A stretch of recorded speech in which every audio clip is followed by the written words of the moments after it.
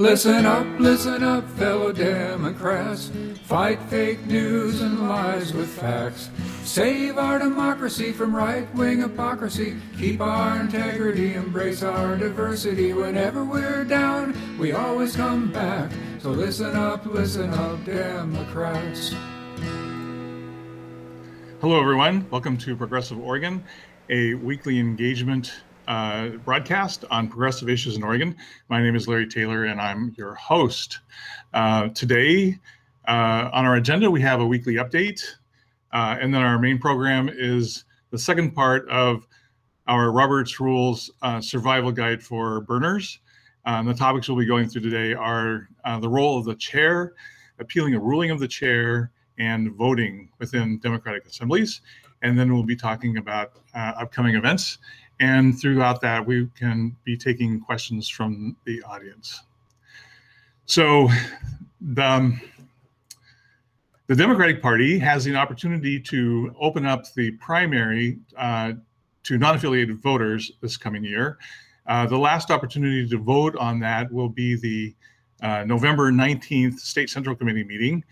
Um, uh, the bylaws allows the party to open it up and they have to vote on it each time uh, and it has to pass by a two-thirds vote, which um, is a fairly fairly high threshold to achieve. So why is this important, and why is this election different? Um, Oregon's motor voter law has significantly increased the number of non-affiliated voters in Oregon. Uh, if you can see on the chart, um, pretty much steady uh, non-affiliated voter registration with a couple of bumps between uh, 2007 and 2016, and then 2016, there was a huge jump, and then another significant jump in 2017, which still has another two and a half months to go. So that number is going to get even greater. Uh, if you go to uh, the next slide, uh, why is this important? So the motor voter law went into effect on January 1st, 2016, and what this chart illustrates is the difference between the the the, the year and the previous year's registration. Uh, and you can see in 2016, that was the first year of Motor Voter. Uh, there was almost 200,000 uh, people registered, and there's still a significant amount that was registered in um, 2017. Um, and then if you go to the slide on uh, change in registration, registration from 2010 to 2017, you can see the the change in registration on Democrats, Republicans, and non-affiliated voters there was a slight increase in Democrats, a slight cre- increase in in the Republicans, but a huge leap in the number of non-affiliated voters. And it's not because they don't care. Um, and uh, as you can see, uh, the total of non-affiliated voters is uh, just under 800,000 at this point. And if they vote, um, they could determine who wins the 2018 governor's race. And so we are encouraging the governor's campaign staff to really help us convince the Democratic Party that they need to do this. Um, so, why are there so many non affiliated voters? Well, um, the law uh, registers people when they go to the Division of Motor Vehicles, which is why it's called Motor Voter. Um, so they're automatically registered unless they opt out and then 30 days after they they they are registered they get a postcard from the secretary of state and it says would you like to be affiliated with a political party? And they list the 12 political parties. And they have to do they have to be proactive. They have to return the card or they have to go online and change their voter registration or they have to do something that's proactive to change that. And you know politics is not centered to many people's lives and and many of them just don't get around to doing that um, and then many people don't realize that if they're not a member of the Republican or the Democratic Party, they are not.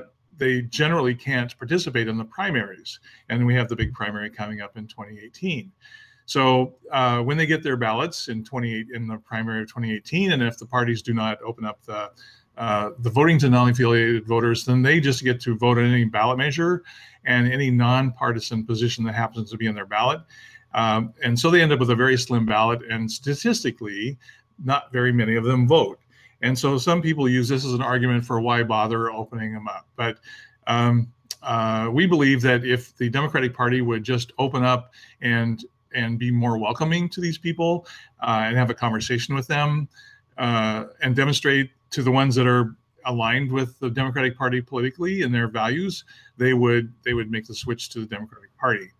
Um, if they uh, if they don't get involved and don't vote, um, uh, we could be heading towards an election that looked a lot like 2016 because there's um, a lot of people who are not enthusiastic about the ticket as it's currently lining up.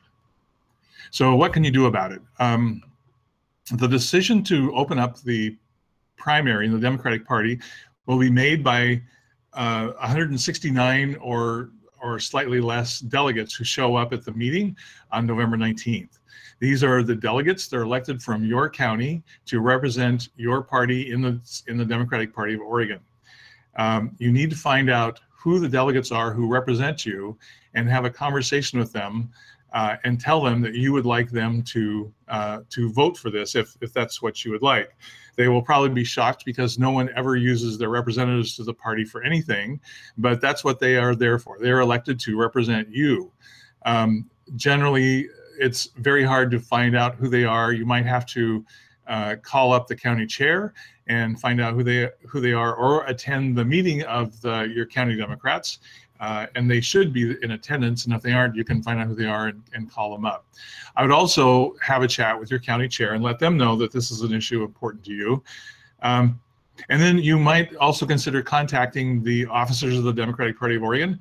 Uh, the website of the Democratic Party of Oregon is www.dpo.org. And you can talk, you can call up Jeanne Atkins, the chair, uh, Valdez Bravo, and Lupita Maurer, the vice chairs um, or any of the other officers. You also have three DNC members um, that will that also have a vote in this election. And so I encourage you to uh, to uh, contact them as well. Uh, and then if you are under the age of I don't know 50 or so and are tech savvy, you could consider uh, running a social media campaign. Most of the county parties have Facebook uh, pages, and you can go and, and do your postings on there uh, and start the discussion and, and, and, and, and help us make sure that this gets passed. Other news this week. Um, so Governor Kate Brown, it is alleged, is to name Senators uh, Richard Devlin and Ted Ferrioli to the Northwest Power and, and Conservation Council. Um, uh, this was news that just broke uh, like in the last few days, and it's amazing how much uh, has happened since then, since nothing is even fi- official or announced. Um, so, what does this mean? So, it means that the senators will probably resign before their term ends, and the appointment process gets triggered similar to what we saw for House District 38.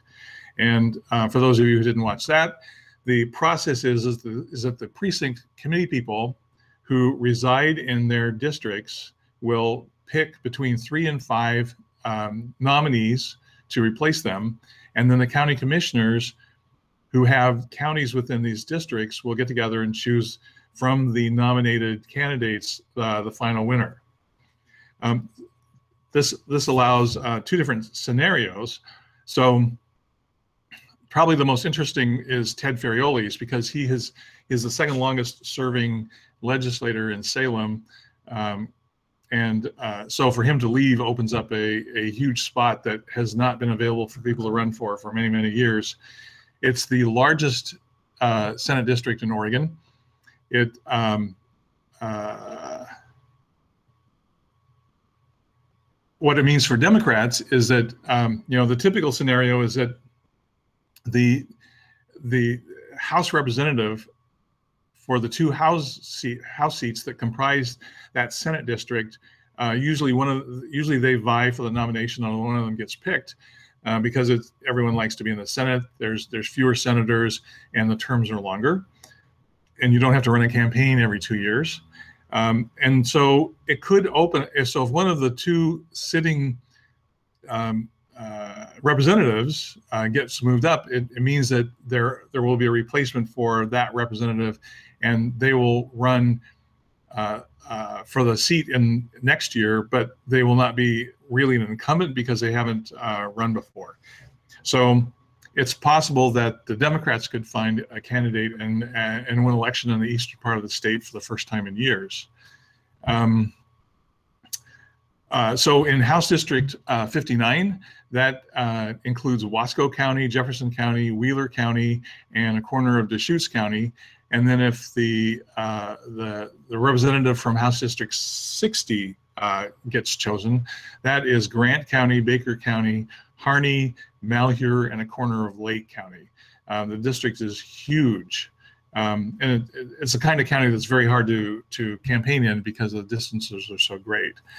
Uh, but there's an opportunity possibly for Democrats there.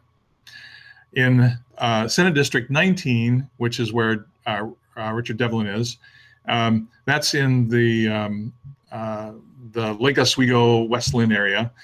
Um, and so the precinct committee persons from Clackamas, Multnomah, and Washington County will again pick three nominees to to replace Richard Devlin. Um, and then the county commissioners from those three counties will get together.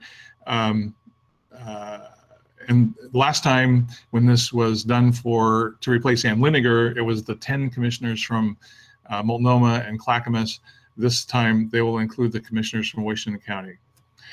So lo logical successors um, in, in the metro area would be the Democrats in those two House district races. But it turns out that House District 37 is, is held by Julie Parrish, who's a Republican, so she won't be selected.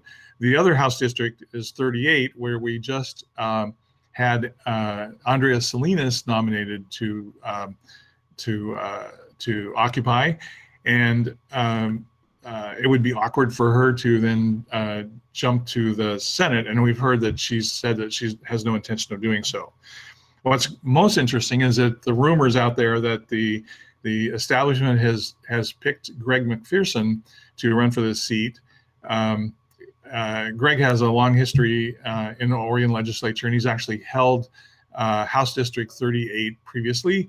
Um, and so he would he would uh, he would join the legislature with with a lot of uh, immediate seniority, but then, you know, once again, it doesn't seem very democratic to have the the establishment picking a candidate and all of this laid out in advance of them doing the nomination.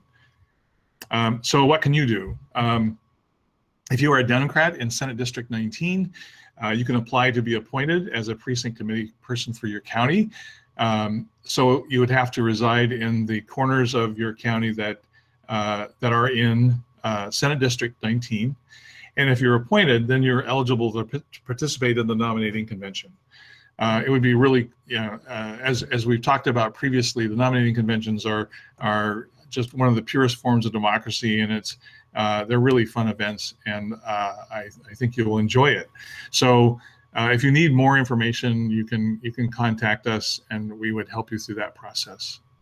Is there any questions on the line, Betsy?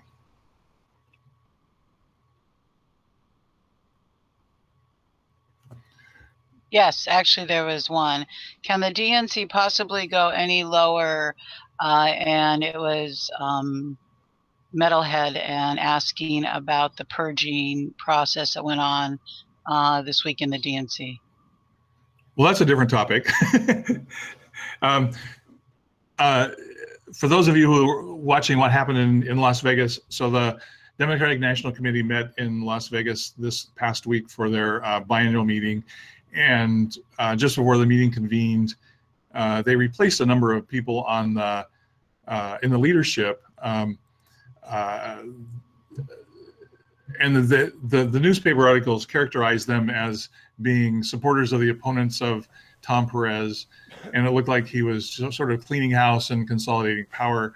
Um, I know three of the four people that were um, that were mentioned in the article, and you know they'd been around for a long time, and it's always good to rotate leadership. So I wasn't so concerned about them.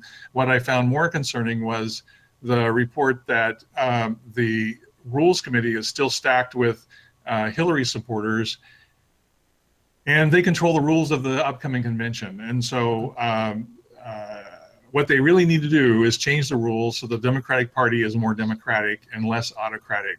And it needs to be more participatory so that when the Democratic National Committee delegates go to these meetings, they actually do something other than sit through uh, lectures and training sessions.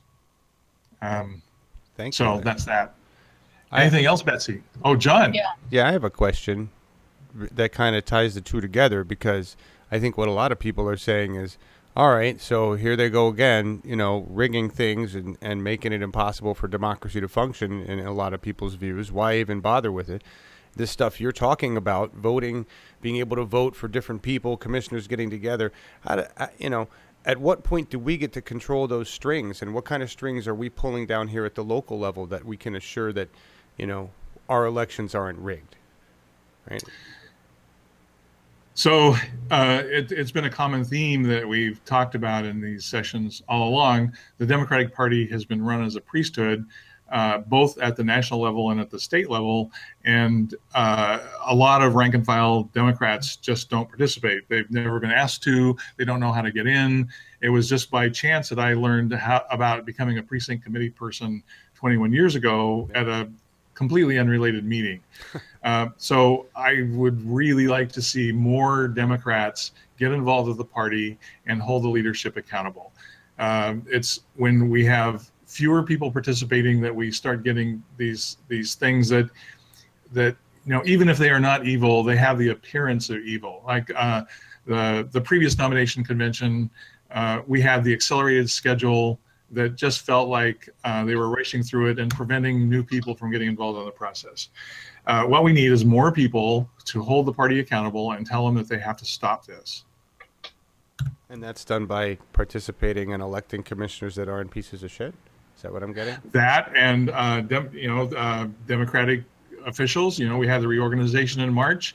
Uh, you need to elect uh, officers who will conduct themselves with uncompromising integrity. And then eventually those officers end up in higher positions of power, like Tom Perez, right?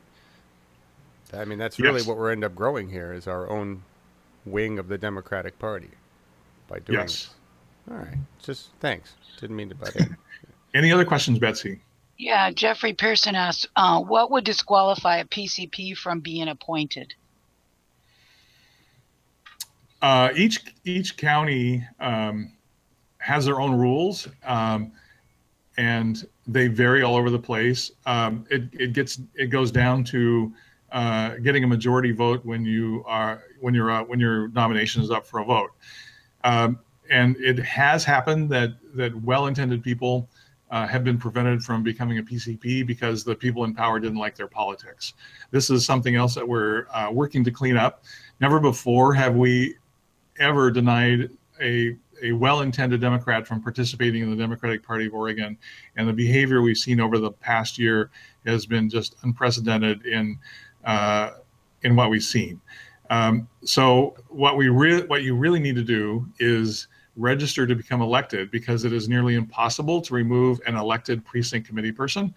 Um, and if you go to P- our website, pdpo.org, you can register and we will make sure that you are uh, uh, informed of the process when it comes up and, uh, and meet the deadlines and get registered to run. That's something I have to do. I've just been appointed, not elected. So I have to go get that locked in.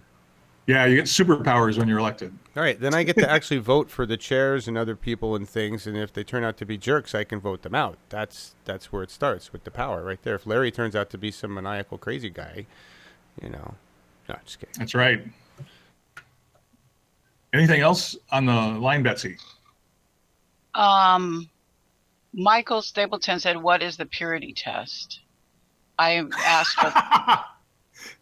Well, it, again, it varies. Um, uh, so it, you know, hopefully they they are judging by things that are measurable. So there are counties that have rules like you have to attend three uh, county meetings um, before you can be a, appointed.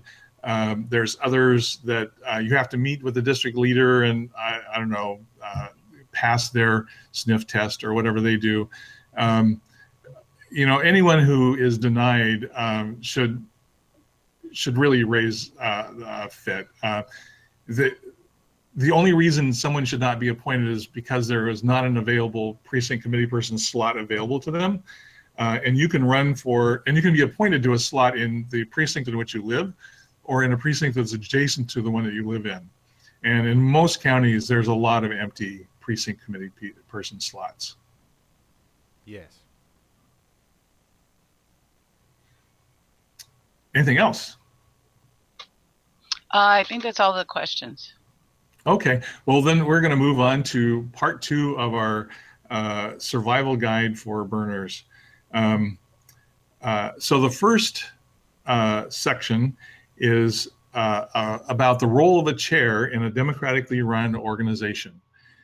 So uh, I, the the the concept of a leader is is has been really interesting, and I used to think that the terms for the leadership was synonymous, but it turns out that there's a real distinction between uh, what these these roles imply. Um, so, you know, and you see in nonprofit organizations, uh, they get uh, they get a president of the board and they have an executive director. Excuse me, and these are, you know, they're they're they tend to be mission based organizations, and uh, and so you you hire your executive director or your, you elect your your president because of his vision and and and what they want to implement. And the actual definition of a president is the chief officer of an organization, usually entrusted with the direction and administration of the policies. Um, but democratic assemblies are a little bit different, um, and uh, and what you have in them is a presiding officer uh, that is often that is referred to as the chair. Uh, and in democratic assemblies, the nature of their job is bottoms up, um, because the those kinds of organizations are are really based on the will of the assembly. And this is where you you get the concept of the supreme power being you know the majority of the the people. So in robert's rules of order they lay out the qualifications for a chair. The first one is that they should be well versed in parliamentary procedure and thoroughly familiar with the bylaws and rules of the organization. Uh, and the reason why they need to be well versed in parliamentary procedures because they have to understand the nature of democracy. Um, they should expedite business in every way compatible with the rights of the members. So they have to have an understanding of what the rights of the members are so that they can protect them. Um, the impartiality required of the chair precludes their participation in the debate while presiding. And to participate in the debate, the, the chair should relinquish their the chairmanship and turn the meeting over to the highest ranking officer who has not spoken on the topic. Um, and again, this is all goes back to them administering the organization in a democratic manner. The chair is impartial.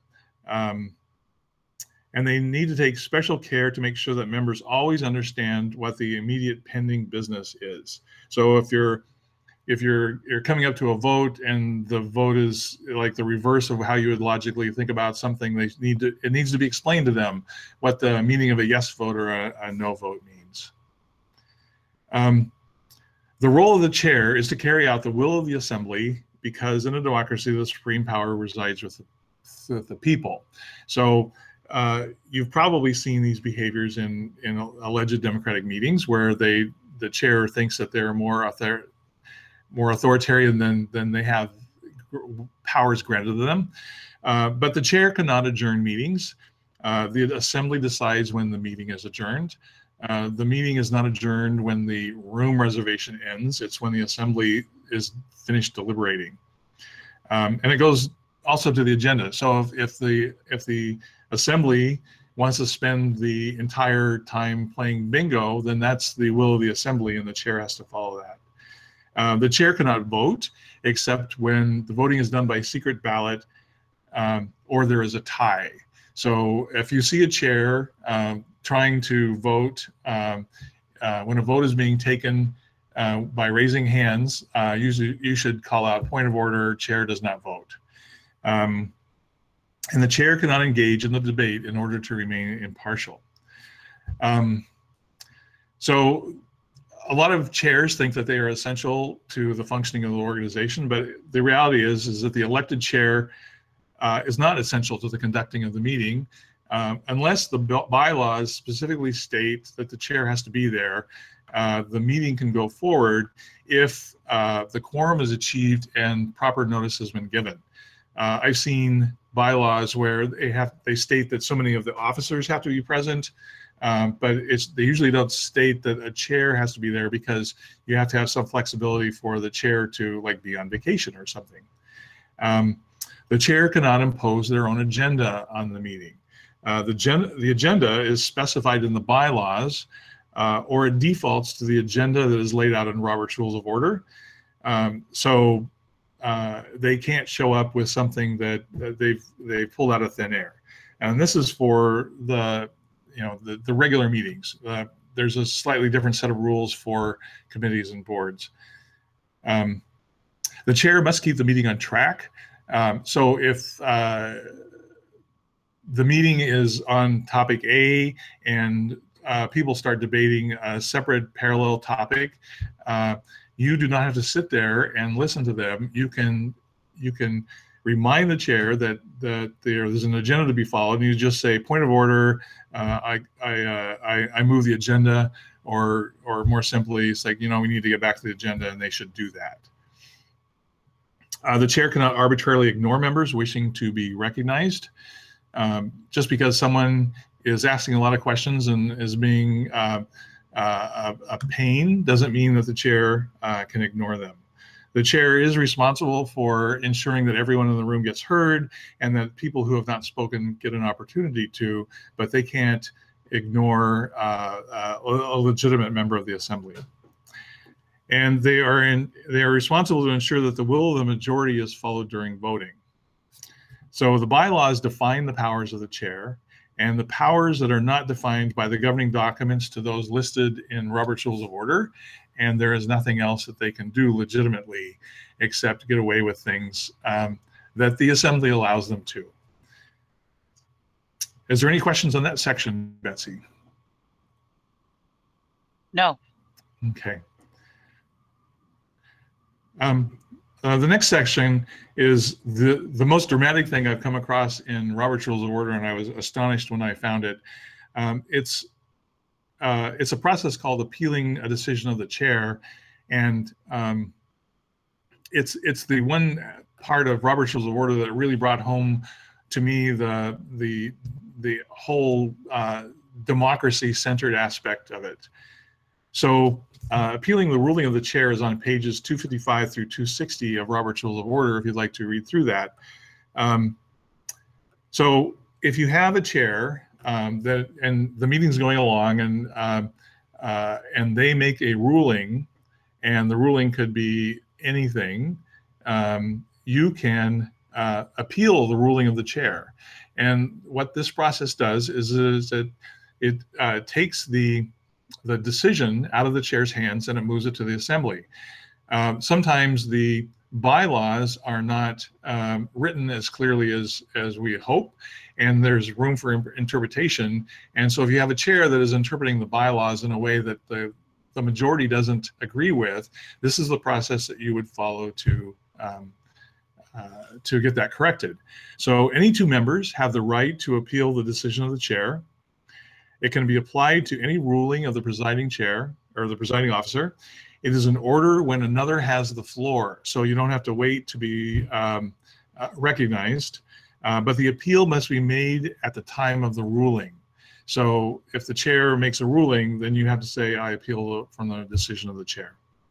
It must be seconded. So two people have to have to think that the um, uh, the chair's ruling is is incorrect. Um, this is debatable. So um, the rules governing this this process is that no member may speak more than once, and the chair gets to speak first, and then the chair gets to speak at the end, uh, explaining why they ruled the way they did. And a majority um, or a tie vote sustains the decision of the chair. Um, so one of the interesting things in here um, is that chairs shouldn't feel offended if if they've had their their ruling appealed.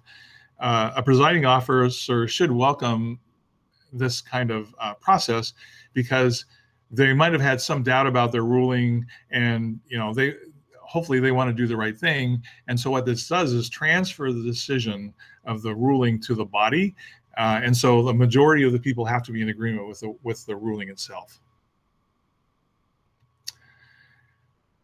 Then there's another area that's related to this, which is enforcing points of order and appeals. So um, if you have a chair that acts improperly, like fails to recognize a member or ignore, ignores a properly made motion, a point of order may be raised, and from a chair's decision, an appeal may be taken. This procedure enables a majority to ensure that the enforcement of the rules. Uh, if the chair ignores the point of order, the member can repeat the point of order a second and third time. And if the chair still ignores it, the member standing in their place can immediately put the point of order to a vote without debate, similarly handled when chairs ignore appeals. Uh, the member can, standing in place, put the appeal to a vote without debate. The question may be put as, shall the decision of the chair be sustained? So this is a, the rare instance where you have a chair that is behaving badly and uh, Robert's rules uh, uh, transfers the power of, of controlling this aspect of the meeting to, to a member. Um, and to remove a presiding officer, if the chair fails to act in accordance with the assembly's decision or otherwise fail to perform the duties of the chair properly, the assembly may temporarily replace the chair. A motion to suspend the rules may be passed to remove the chair for the balance of the meeting. So if you have a chair that is being especially egregious, you do not have to put up with it if a majority agrees. And there's a process in Robert's rules for doing this. As you can imagine, this would be uh, a gutsy thing to do. Um, but you know, in meetings, you can get a sense of of uh, how things are going, uh, and if the the chair is is actually following the will of the, the group or is, is going off in a different direction. Is there any questions on the line, Betsy? No, no questions. Everyone's in stunned silence. yes, you have the power, uh, and the supreme power lies with the assembly. Um, I have a I have a the, question, just real quick yes, on John. this.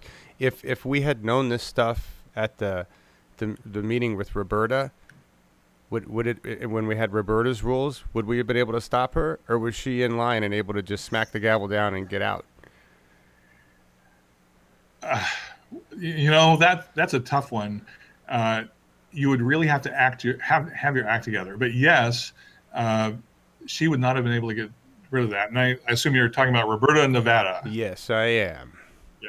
Mm. So uh, it's it's harder in conventions because you literally have hundreds and hundreds of people uh, but if someone was up on the rules and was watching for this, uh, they could have raised a point of order.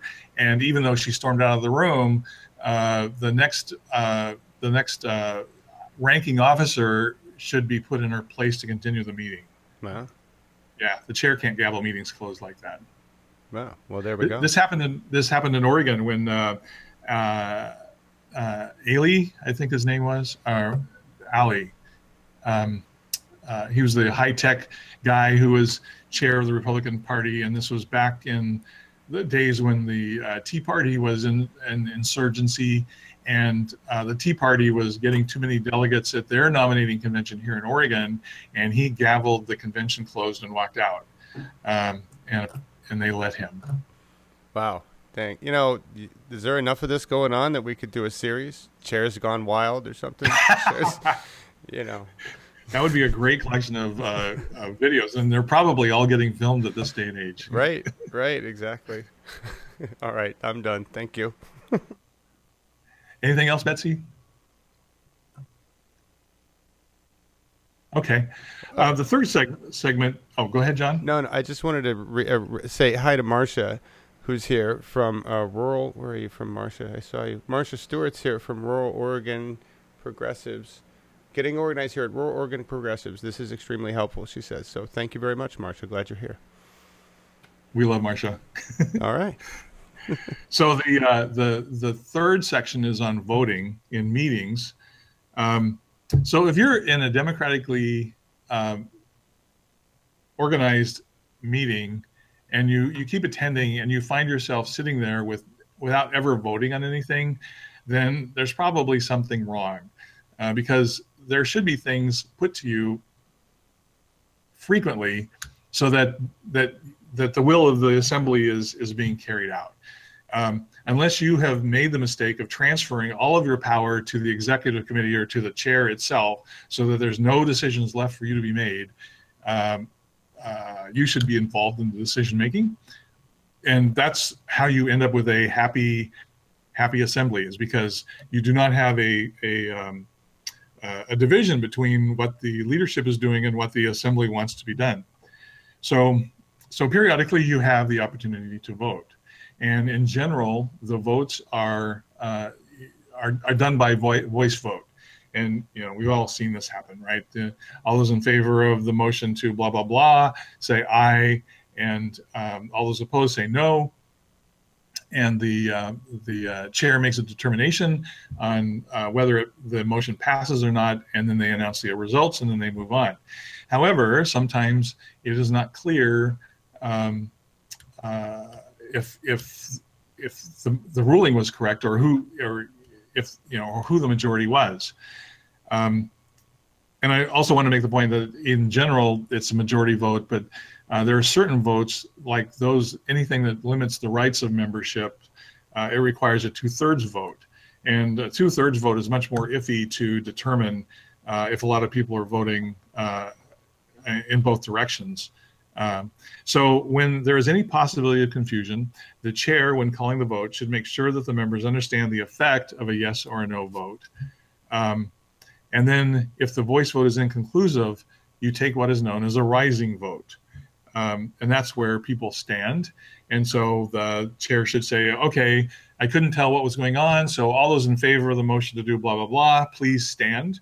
Or you know if, if you you can't stand uh, they'll make accommodations for whatever it takes for you to cast your vote and then they should uh, those should should sit back down and then all the people on the other side should have an opportunity to rise and then hopefully it can visually be determined then uh, which side the majority voted on uh, but again if it's a two-thirds vote it might not be clear if there's a lot of people in the room and um, and so then they they count the vote.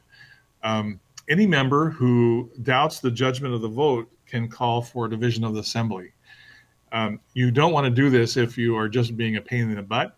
Uh, so if, if if only one person voted and you call for division, the chair can rule rule you out of order and move on.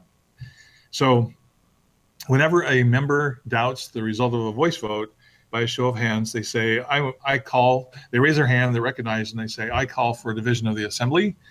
Um, this takes precedent over any motion. It is an order when another has the floor, uh, does not require a second, and it is not debatable, and it is not amendable. Uh, so it does not require, um, it doesn't require a second because since uh, a single member can demand a division. This is one of the most uh, power powerful things that an individual can do inside of a meeting if it's appropriate. The, the motion for a division of the assembly cannot be reconsidered, so you really can only do it once. Um, but you don't have, you know, by all means, don't sit there and allow a, a vote that you think was improperly uh, counted stand. Um, so there's just one warning um, uh, when uh, assemblies get all all comfy and friendly with each other. Um, this happened at the fateful meeting in August of 20, uh, 2016 when um, the uh, the chair of the rules committee at a state central committee meeting said um, uh, had a uh, had a bylaws change brought to the floor, which could only be done by unanimous consent. And because it was late in the day and it was hot in the room and everyone was tired and they'd been in the meeting for a long time, everyone and they trusted the chair uh, implicitly. They they let it go forward. Um, but you have to watch for this, and you know if you start having twinges of doubt, don't let it go forward. Um, so if everything is copacetic, the chair is allowed to expedite voting if it appears that the assembly is in agreement by using what is called unanimous consent. Um, and this is usually used for administrative actions like approval of the minutes. So, you know, if you've distributed the minutes and no one gave you any feedback, the chair uh, doesn't have to spend a lot of time on, on the, the minutes. He can, the chair can say, um, uh, is there any any uh, any further comments on the minutes? And if no one speaks, then they can, you can just say, um, so uh, uh, with no objection, I'm going to assume that we approve the minutes by unanimous consent. And usually everyone is cool with that. Um, if there is something egregious in the minutes, like it was, it didn't record something properly, then you need to step up and, and say so. Um, the magic words that they use to invoke this, if there is no objection, uh, uh, but this means that you have to speak up to hold it. So when they were doing the, the bylaws consideration, someone did ask a question, but there there was a they were dis, they were dis, their their concern was dismissed, and they didn't formally say I object, uh, which would have triggered um, a whole different process. But you have to um, you have to watch out for this stuff because there are chairs who are very facile at the use of Robert's Rules of Order and and they just lull you into accepting things that, that you you shouldn't be accepting. And certainly, if you do not understand uh, something that is new and being brought before the meeting, that you feel like it's being rammed rammed through, and you're not given appropriate time to consider it, uh, at the very least, you should postpone uh, consideration of that item to the next meeting, so you have time to look look into the matter. Are there any questions on that? No, no more questions. No questions. Either everyone's asleep or I'm very clear. so that's uh, that's our segments on uh, Robert's rules for today. Um, we have some we have some very uh, exciting upcoming events. Um, the most exciting is that we're um, hosting a town hall for progressive democracy on November 26th. Uh, it's going to be based in the Sunnyside Community House in the Belmont District of Portland, but we're going to, uh, through the miracle of the internet, we're going to be live streaming the event from the from the facility. And what this means is that, that we can bring in speakers from anywhere in the world to speak to the group and uh, anywhere anyone in the world can watch the uh, the, the event from the uh, comfort of their living room or wherever they are if they can't make it to Portland. Uh, the facility seats about 300 people, um, and we expect it to be packed out. Um, uh, most exciting is that our keynote speaker is going to be Nina Turner. Um, so the event is on November 26th. Um, where the doors will open at one o'clock, where we will have a room set up uh, for groups to do tabling. Uh, we'll be inviting all of our uh, cousin, our revolution groups from across Oregon to table, and we'll also be inviting the caucuses of the Democratic Party of Oregon to participate. Uh, at two o'clock, the the uh, actual event will start uh, being live streamed, and we'll have a number of speakers uh, what we want to do, this is the kickoff to uh, the, the 2018 election. And we want to make sure everyone is aware of the platform convention coming up and, and about the whole process to become PCPs and get everyone in, involved in the activities of the party. Uh, there's a second slide. and as I mentioned, you can attend in person or you can watch it live streamed. Um, and uh, uh, the uh, admission is free. Um, but we do give people the opportunity to contribute if they if they would like to. John, would you like to add anything to the event? No, no, you, you covered all. That was great. Just, uh, I mean, if anybody's out there who wants to know that you'll be doing the reorganization meeting as a separate live stream afterwards, uh, as well. I don't know if that matters, but yes, and that's my next slide. Oh, well, there we go. Thank you, John. preempting you. There you go. um, so. Uh, the, every two years, the Progressive Caucus reorganizes and, and elects officers. Um, if uh, if you would like to get involved in that process, um, uh, you, there's a tab on our homepage called Reorganization. Uh, we've listed all of the positions that are up for election. Uh, there's a number of uh, committee chairs uh, that whose chair will be electing.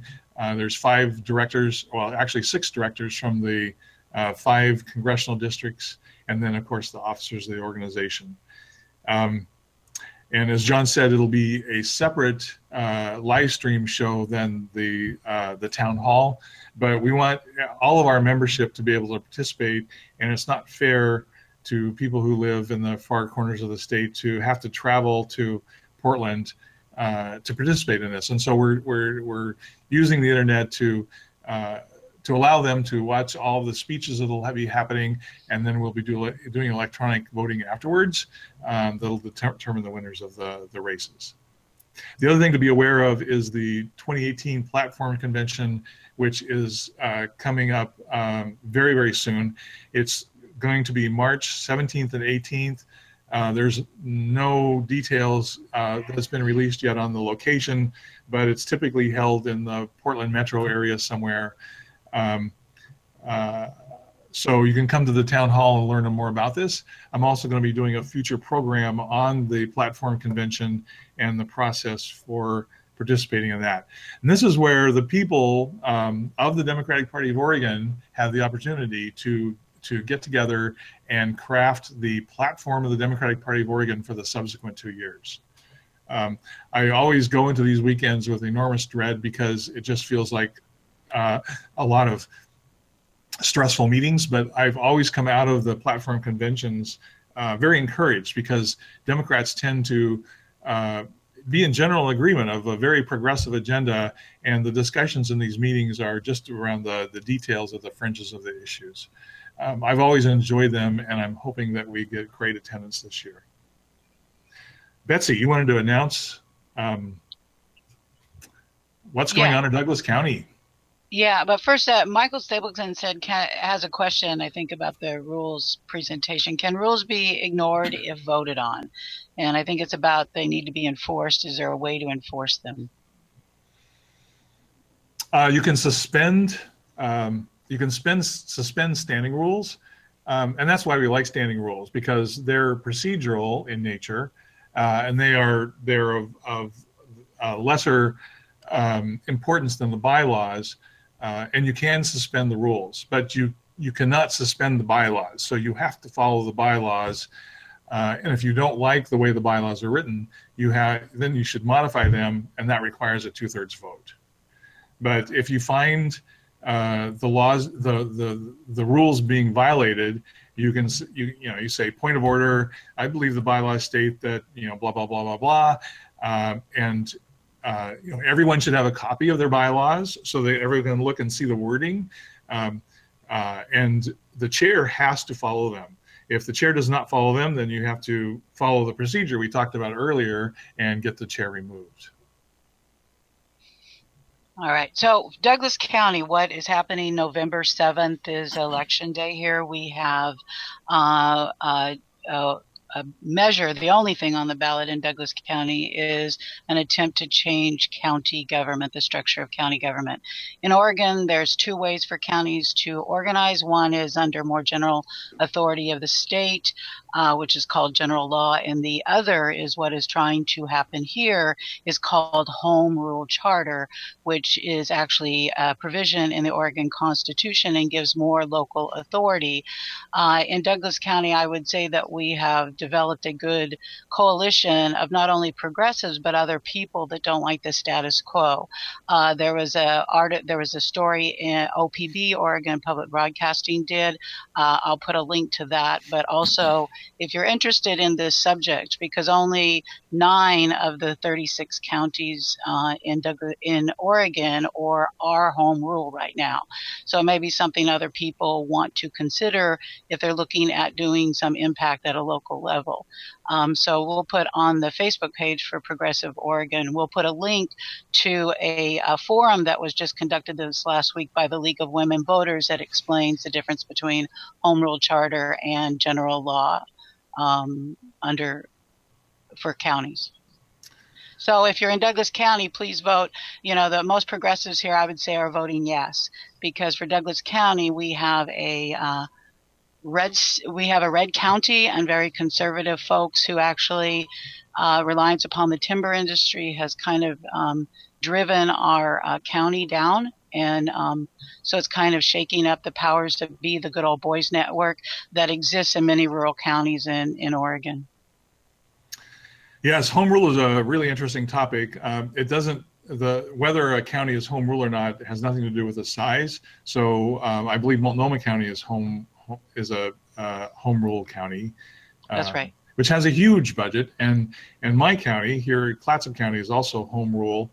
Um, uh, currently the the three commissioners in Douglas County get paid uh, what is it 70 80,000 bucks a piece uh, Right. for their work and and they actually do the the work of the county and uh, the general belief is that um, uh, uh, a more evolved model is that you have uh, especially for smaller counties is that you have a a larger board of uh, county commissioners so my my board of commissioners here in Clatsop County has five members, and the county is divided into five districts. And so every two years we elect either two or three uh, county commissioners. They are not paid, uh, and but what they do do for managing the county is they hire a administrator, and then the the county manager actually runs the county, um, and that way you get a professionally run county and uh, you can you can do that with the, the smaller counties. Um, I, I don't know how they do it in Multnomah. It's it's much more complex. There's pros and cons to it. I, I know our county commissioners uh, feel like second class citizens when they go to uh, some of the conferences because everyone else is in the in the room from a regular county. Um, they're being paid to be there, um, where our county commissioners are not being paid to be there. Uh, but then they're also not under the influence of anyone because um, you know they're the, the the the races are much smaller and we don't see the kind of uh, money in the races that would really influence the outcome. There was one other thing I wanted to announce, and that is that we are having information sessions on running for office in uh, in the Portland area uh, on tomorrow night on Monday, October 2nd or 22nd and on Wednesday, October 25th. So on Monday night, I will be at the Hillsboro Brookwood Library. Uh, doors open at 6:30, and uh, people can come and and learn about the process for running for office. There's people who are interested in doing this, but they have no idea how to get started and, and who to talk to. Uh, what we can do is explain to you the process for running for office and what you need to do to get started. And uh, you know, we can go over any level of government. So if you're interested in running for county commissioner or city council or your soil and water conservation district board, uh, we can tell you what the process is for doing that. Uh, and then Wednesday, October 25th, uh, it'll start at 6:45, and we'll be at the Hollywood Library in in Portland. Um, if anyone signs up for live stream tickets, we will live stream the event. But if no one, uh, no one is there, if no one signs up for it, then we're not gonna we're gonna set it up. But uh, if if you're interested in you know you're in Lake County or you're in Wallowa County, uh, in watching one of these, you're more than welcome to sign up, and we will do our best to make the technology work for you. Um, so if you would like to attend one of these, please register uh, at our website, which is www.pdpo.org, um, and then go to the events tab. Uh, we'll also talk about the appointment process for uh, Senate District 19. So if there's anyone in that uh, in that Senate district who would like to uh, learn about the process and what it takes to get appointed, uh, we'd be glad to answer your questions. So, is there any final questions on the line, Betsy?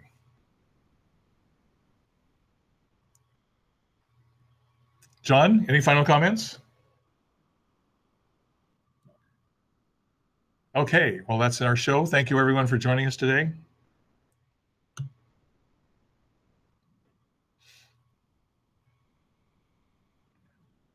We do have a song. Our uh, the music today is from the musical Of Thee I Sing.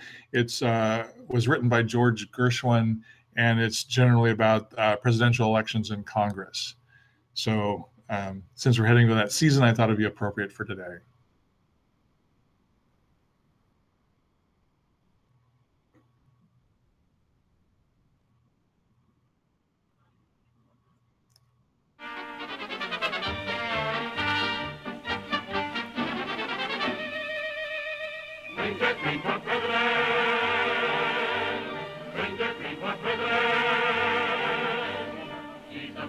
People choose. Loves the Irish and the Jews.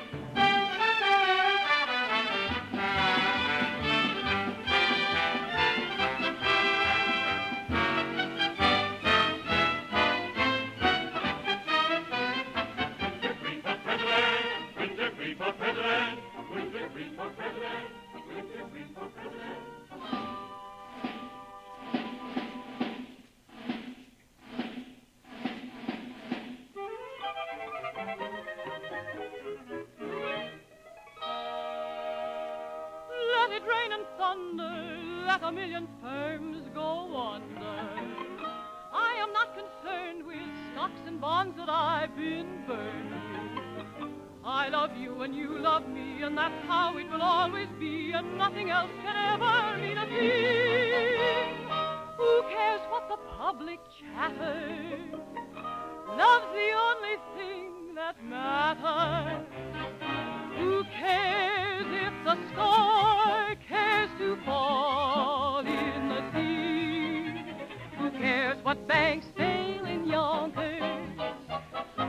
As you've got a kiss that conquers, why should I care?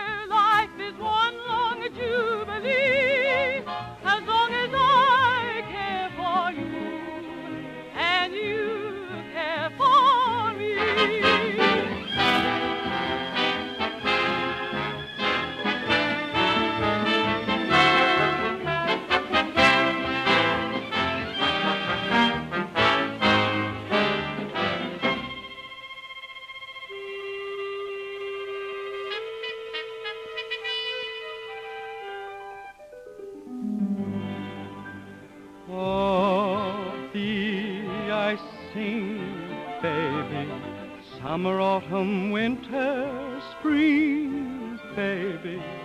You're my silver lining. You're my sky of blue. There's a love light shining just because of you. Of thee I sing, baby. You have got that certain thing, baby. Shining star and inspiration, worthy of a mighty nation. Of thee I sing.